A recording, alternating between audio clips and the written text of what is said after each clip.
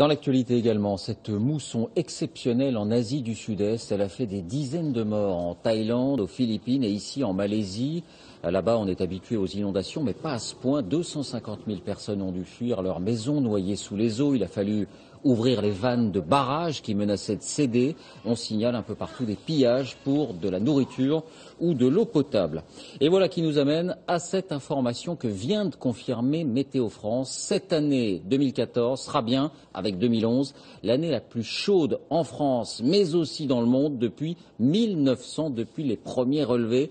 Bonsoir Christophe de Dans un instant, on verra avec vous ce qui nous attend dans le ciel dans les années qui viennent. Mais d'abord, on va la visualiser, cette planète qui se réchauffe. Absolument. Regardez, voici ce qui s'est passé euh, cette année. Voici la Terre. Et voyez maintenant ce qui se passe lorsqu'on fait apparaître les températures de 2014. Toutes ces zones qui sont là en rouge sont des zones où il a fait anormalement chaud. Vous voyez que la planète bleue est devenue rouge vif. Souvent des records historiques de température, quelques dixièmes de degrés, mais de nouveaux records, ça continue de chauffer, et en particulier en France, plus 1,2 degré a priori, euh, selon les, les, dernières mesures, c'est effectivement un record historique de chaleur avec 2011. Mais vous savez, il y a la chaleur et il y a aussi ce que disent les experts sur le réchauffement climatique qui va favoriser des épisodes météo plus marqués, plus intenses, plus violents.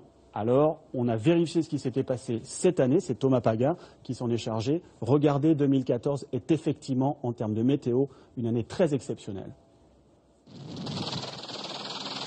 Sur tout le littoral atlantique, des vagues jusqu'à 20 mètres de haut. Janvier, février, mars, la mer s'acharne contre les côtes. Les assauts des vagues rognent peu à peu le rivage. D'habitude, ils reculent de 1 à 3 mètres par an. Cet hiver, de nombreuses plages ont perdu jusqu'à 20 mètres de largeur. L'eau attaque aussi l'intérieur des terres. Les tempêtes de la fin de l'hiver gonflent les fleuves qui sortent de leur lit en Bretagne, mais aussi dans le Var. La mer envahit la terre sur des centaines d'hectares. Du jamais vu. Le village de Lalonde-les-Morts, 10 000 habitants, est particulièrement touché. Au printemps, la météo se dérègle encore. Ici, le thermomètre est à 37 degrés. Pourtant, nous sommes à Colmar, en Alsace. Un bain de soleil de courte durée. Un mois plus tard, c'est le bruit de la grêle qui résonne dans le pays. En juin, les sols sont couverts d'une épaisse nappe blanche. La grêle, mais aussi le vent. Des rafales à plus de 100 km heure du nord au sud. Et des scènes étonnantes, comme cette antenne relais arrachée de son socle, encastrée dans cet immeuble de Seine-Saint-Denis. Parfois, les bourrasques emportent des quartiers entiers. À Sérignan-Plage, les habitants se rappelleront longtemps de la tornade qui, en quelques minutes, a dévasté leur maison. Et le calvaire continue, avec des averses diluviennes. Depuis 50 ans, jamais la France n'avait connu un été aussi pluvieux. Conséquence dans le Gard et l'Hérault, défigurés par les crues. Voici Montpellier, victime de ce qu'on appelle un épisode Sévenol. D'habitude, il y en a trois ou quatre par an. Cette année, trois fois plus. Depuis septembre, on dénombre une trentaine d'alertes inondations. Alors les sauveteurs multiplient les interventions. Comme ce bébé sauvé des eaux avec toute sa famille. Mais ce climat déréglé a aussi été particulièrement meurtrier. Fin novembre, quatre personnes perdent la vie et une autre disparaît. C'était encore à Lalonde-les-Morts. En 2014, au total, les intempéries ont fait au moins 27 victimes. Oui, des images montées et commentées par Thomas Paga avec Roméo Christian. On s'en souviendra de cette année 2014. Christophe, à ce rythme-là, à quoi ressemblera un bulletin météo en France dans les années qui viennent Eh bien, nous sommes allés le demander à Jean Jouzel. Vous le connaissez, il est membre du groupe international des experts sur le climat. Il a rassemblé autour de lui des climatologues de l'Institut Pierre-Simon Laplace, les ingénieurs de Météo France, et il a modélisé la météo de, en France en 2050. 2050. En 2050, nous lui avons proposé de mettre des images sur ces prévisions. Regardez, nous ouvrons une fenêtre sur la France de demain. Nous avons reconstitué un paysage type avec des montagnes, des forêts, une rivière, une ville, etc. etc.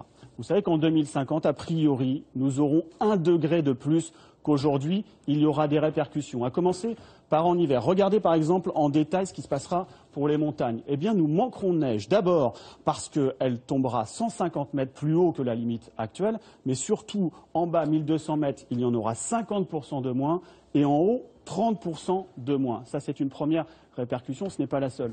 Je vous disais tout à l'heure que les événements météo allaient sans doute être plus intenses, plus violents. Prenons l'exemple des cours d'eau, par exemple. Regardons ce qui va se passer euh, de plus près il n'y aura probablement pas plus de pluie, mais elle tombera en épisodes plus intenses les risques de crue seront multipliés. Les épisodes méditerranéens dont nous parlait Thomas Paga vont se multiplier. Et pour le reste de l'année, les, saisons les plus chaudes c'est là qu'on aura les répercussions les plus saillantes. Regardons par exemple de plus près ce qui se passera dans les villes. Nous allons souffrir de la chaleur, probablement comme ce qui s'est passé à l'été 2003, vous vous souvenez de la, grande canicule. Les jours de chaleur seront plus nombreux. Les jours de canicule seront multipliés par trois et les jours où le thermomètre va dépasser les 40 degrés ne seront plus exceptionnels. Ça, c'est pour les villes. Regardez en campagne, là, c'est la sécheresse qui va sévir. On reprend l'exemple de notre cours d'eau. Vous vous souvenez que cet hiver, il avait débordé eh bien, cet été, en 2050, probablement avec 25 à 60 de jours de sécheresse en plus, il sera probablement à sec. Et les premiers à en pâtir, ce seront les cultures qui sont les plus consommatrices d'eau. Et pour conclure, vous dites, Christophe, ces changements, on va beaucoup, beaucoup en parler l'an prochain, en 2015. Pourquoi? Absolument, parce qu'à Paris, on accueille une nouvelle conférence mondiale sur le climat, avec cette fois l'espoir, on y travaille depuis 20 ans, de trouver enfin des solutions communes pour travailler contre les difficultés liées au réchauffement climatique. Croisons les doigts. Décembre 2015, on l'évoquera effectivement certainement souvent l'an prochain. Merci Christophe.